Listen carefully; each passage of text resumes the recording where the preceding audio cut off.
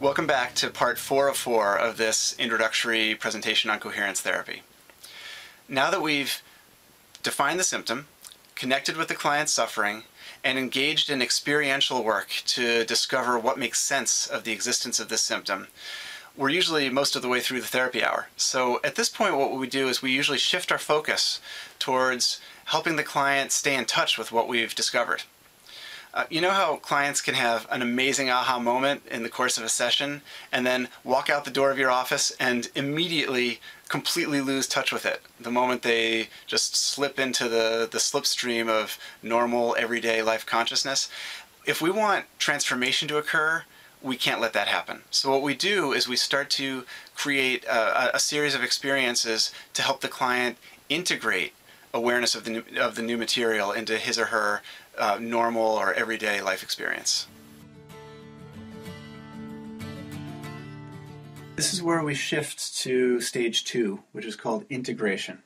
Uh, sometimes we shift to integration because it just is the natural point in therapy to do that. Sometimes we shift to integration because we only have so much time left given the constraints of a one hour session.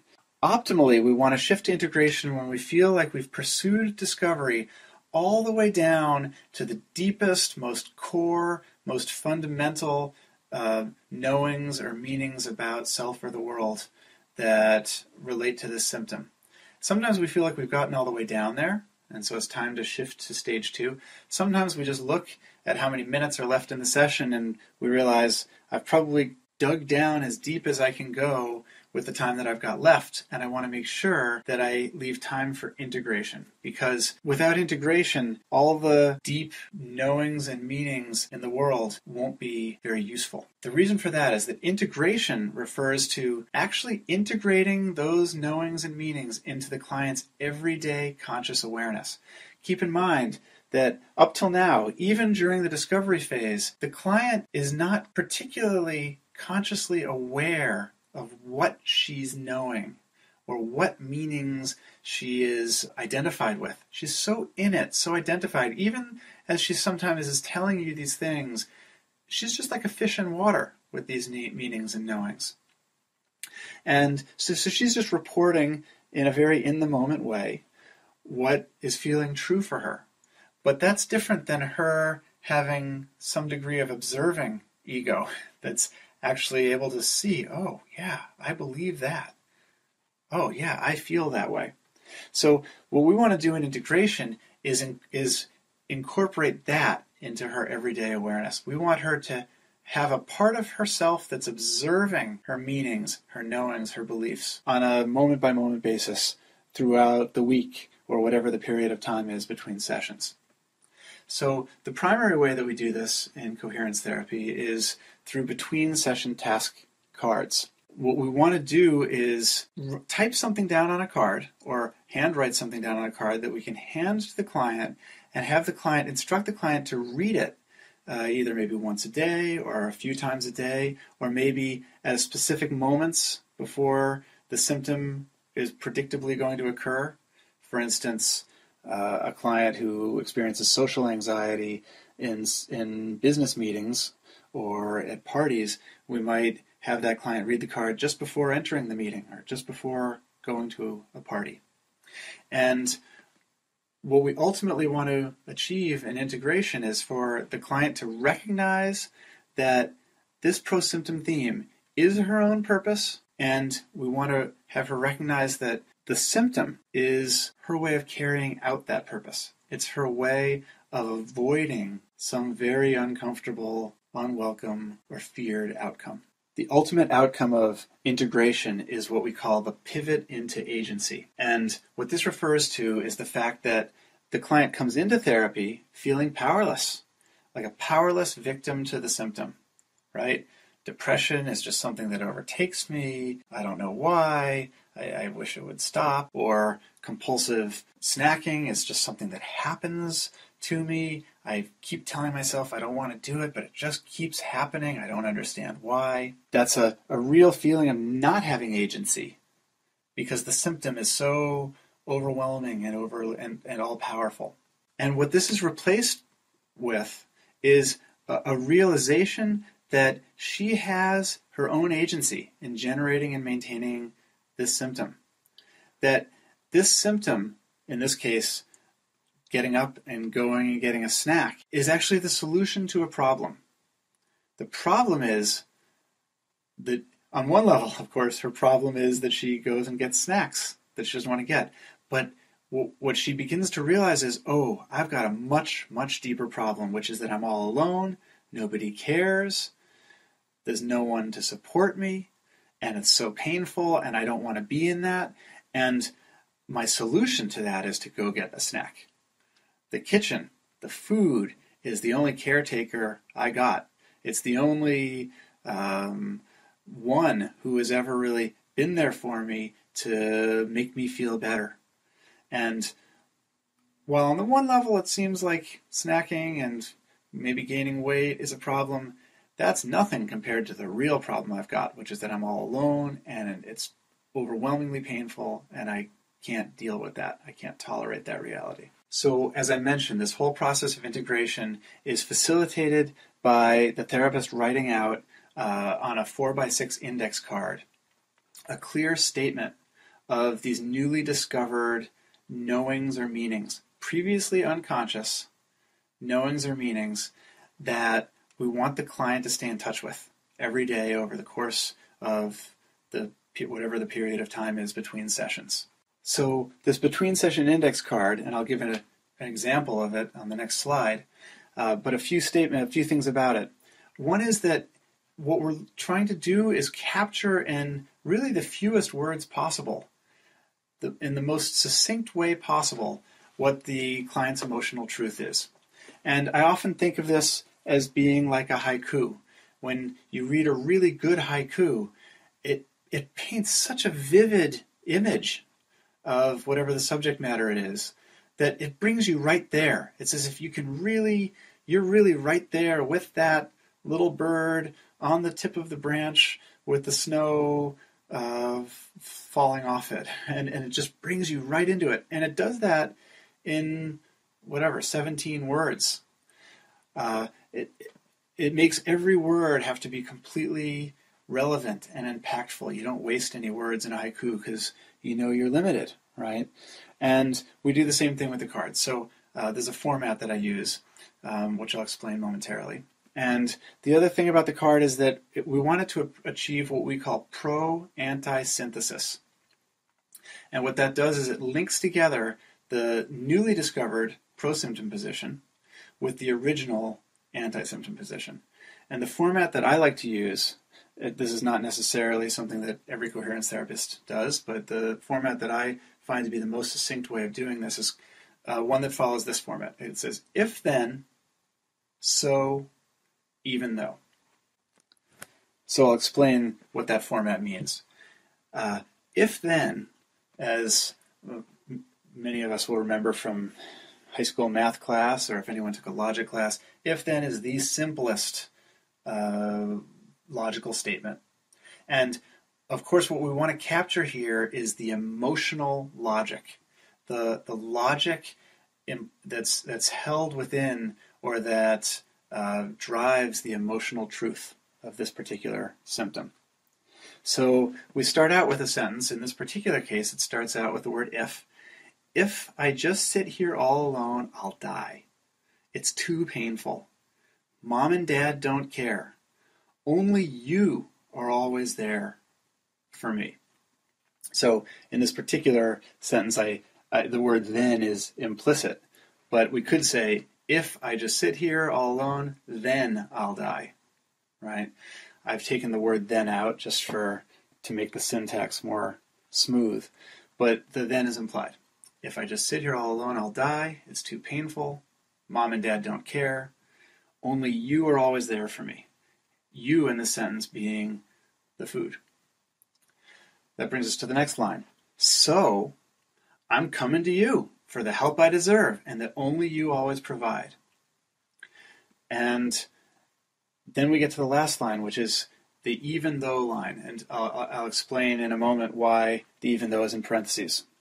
So I wrote, even though I hate feeling so out of control with my eating.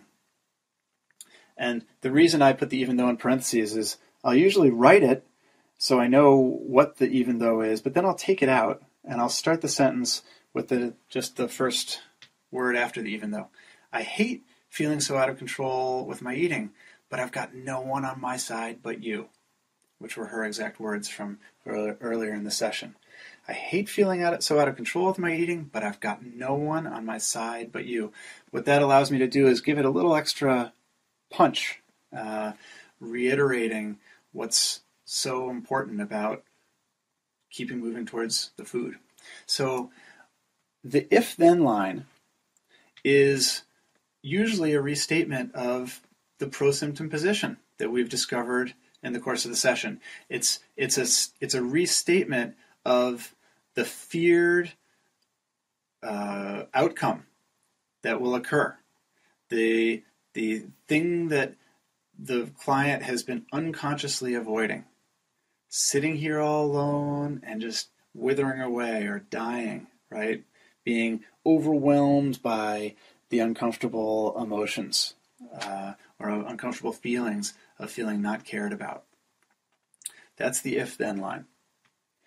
The so line is the client's solution. It's a very clear solution. So I'm coming to you. And coming to you means I'm going to get food, which means I'm going to go snack, which she was previously calling compulsive snacking because it felt so compulsive. Now it actually seems like a very purposeful, driven action. I'm coming to you to get the help I need and that I deserve and that only you've got. And then the even though is usually a restatement of the anti symptom position that the client first came into therapy with. I hate feeling out of control with my eating.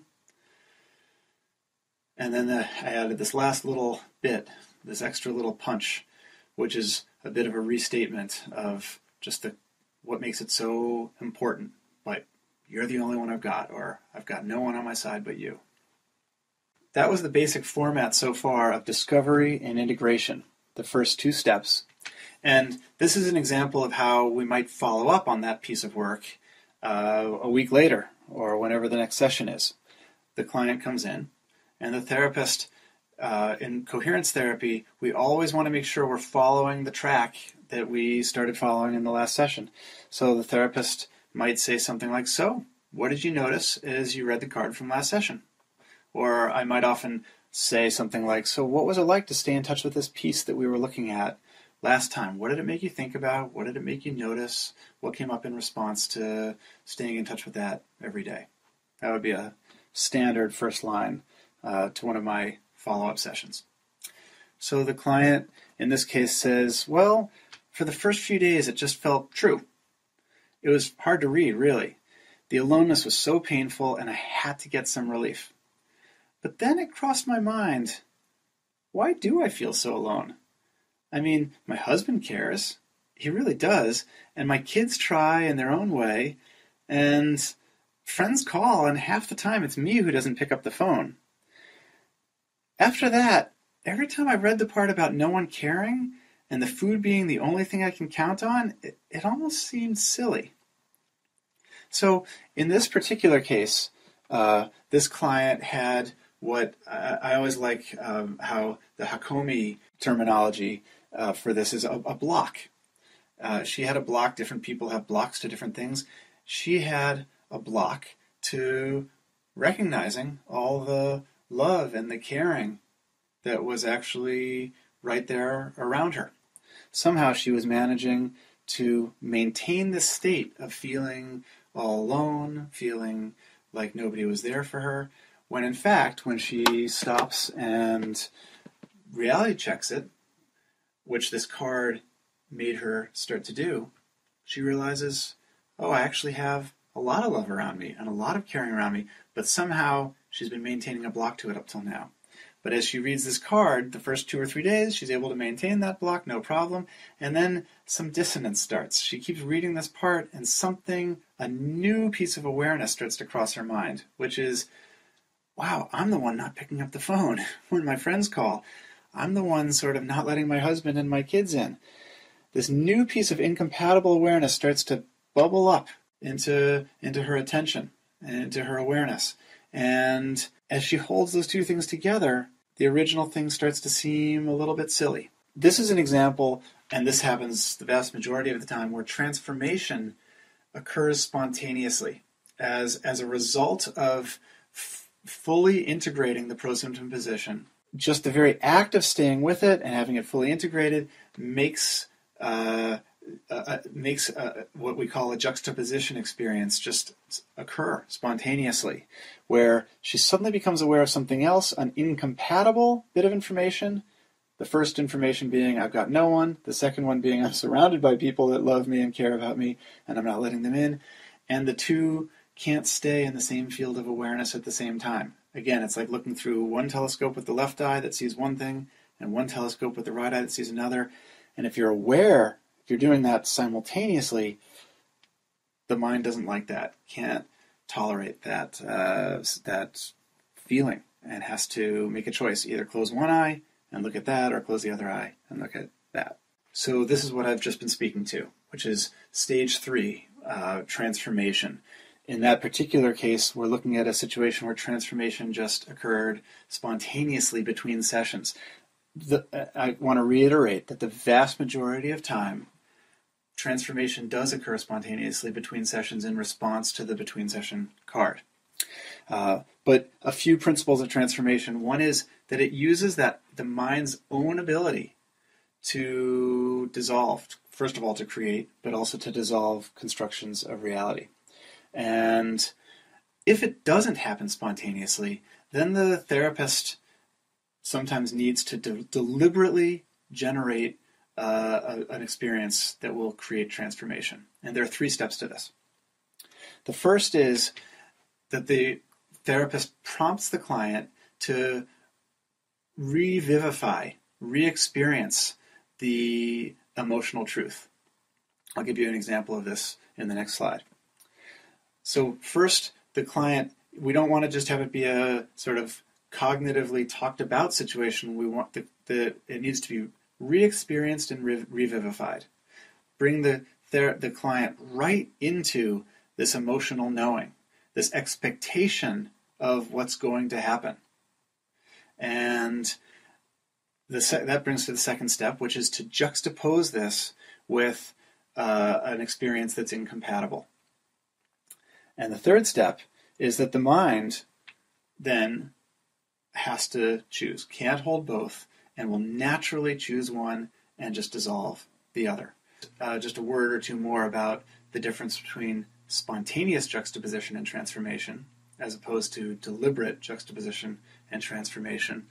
Um, I wanted to introduce the word mismatch, which is a, a term that is often used in uh, neuropsychology and neurobiology.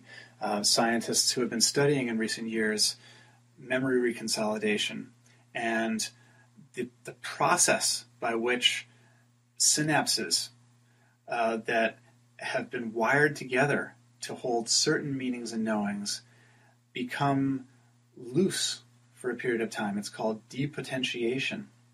There's a during this uh, juxtaposition and transformation, phase, what happens with juxtaposition when this mismatching or incompatible information or incompatible experience is held right next to the old, familiar, known experience.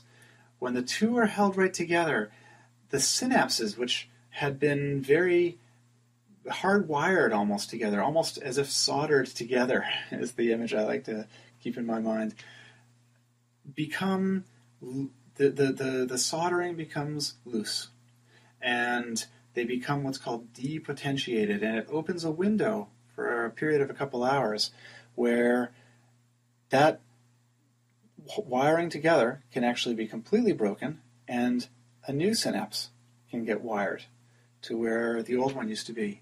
This is this very profound, on a synaptic level, this is this very profound change from one wiring that gives the client the subjective experience of one meaning or one knowing, turning into a completely different wiring, which is going to fundamentally and permanently transform the client's uh, experience of herself or the world.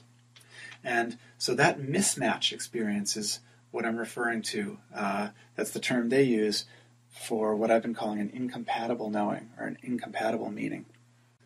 And the question often arises well, when do we know? How do we know when we need to do that deliberately, to create a deliberate juxtaposition and transformation? And the answer is uh, twofold.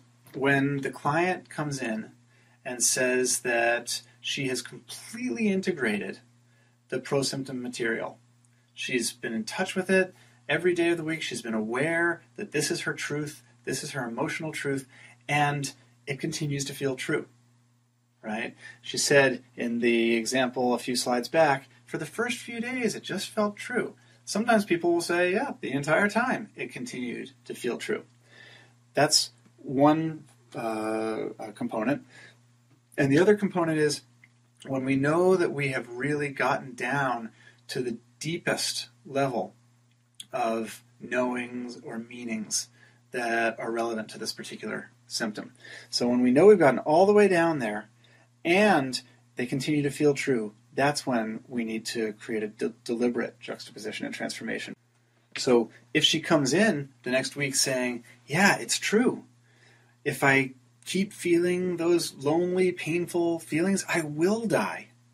And food is the only thing that I can count on. So I have no choice. This is a great solution to this impossible problem. I do have to keep eating.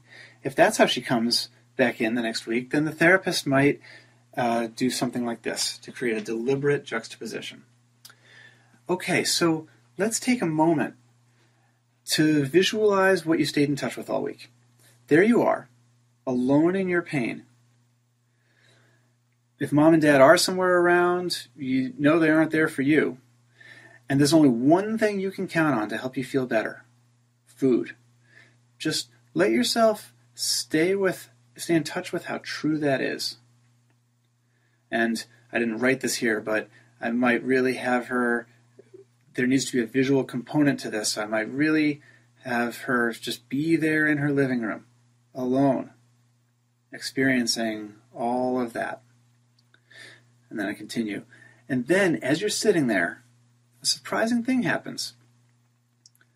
The door opens, and your husband walks in and your kids and a bunch of those friends that you told me uh, that keep calling. They all walk in the door and just stand as a group. They just stand there in front of you. And I want you to look up at them and tell them what you know is true. I want you to tell them, no one's there for me. I'm all alone, and food is the only thing on my side. There they are standing in front of you, looking down at you, and you tell them, No one's there for me. I'm all alone, and food is the only thing on my side. So the client laughs, and the therapist says, Something about that makes you laugh. And the client says, Yeah, it feels funny to say that to them. And the therapist says, Funny? And, you know, I'll often really hold a stance in this this type of situation of it's a little bit like Columbo, the detective, the Peter Falk Falk character, uh, who just would always kind of just he didn't ever let on that he knows what's going on or that he's figured anything out. He just kind of plays dumb and keeps just very just in a very relaxed manner. Just well, uh huh, really, yes, and, and so I'll do the same thing. It's oh, it feels funny. And the client says, I mean, some of them are practically beating down the doors trying to get to me.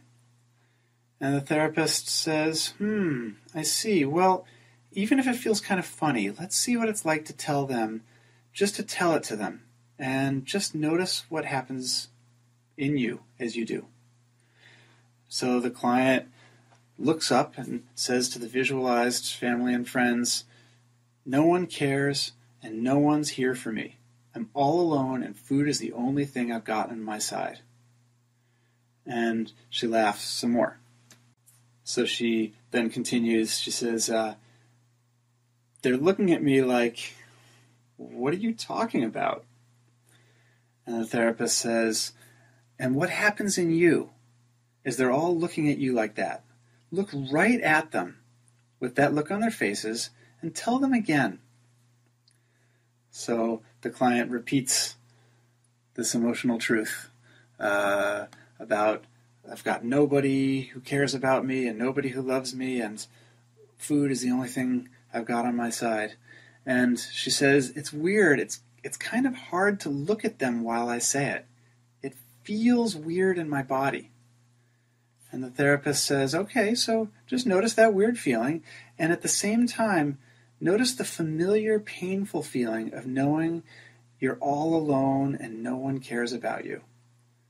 So now the therapist is having her really feel the old, familiar knowing there's no one here for me, and also feel the weirdness of this mismatch simultaneously. Just as he's also having her feel the old or say the old thing while experiencing this mismatch thing of all these people who love and care about her and want to be close to her standing right in front of her. So there's a couple of different juxtapositions here, different levels of the juxtaposition.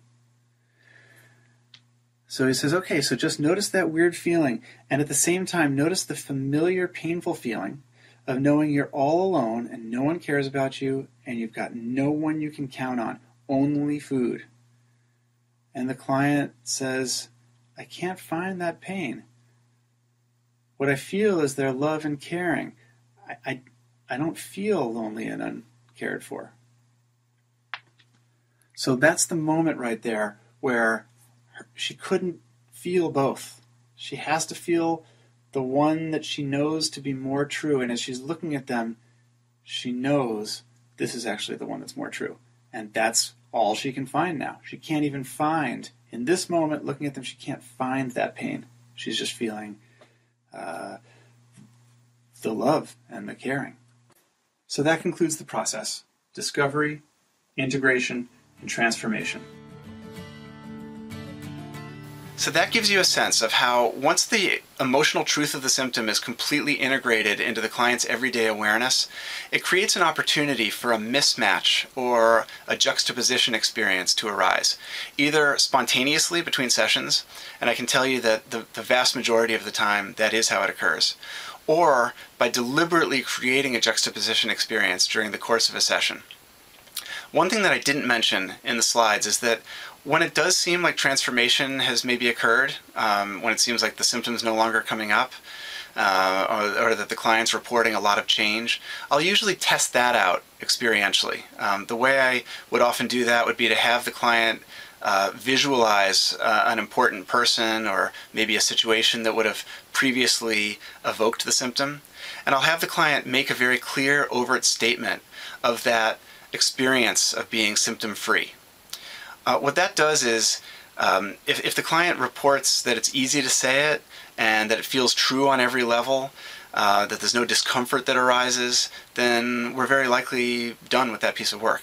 But what what you find is that if there's anything left, even some small part of the client's experience that's still left unresolved, making such a strong overt statement or a clear statement of change is likely to pull out or dredge up that unresolved material, and then we'll do some more work with that.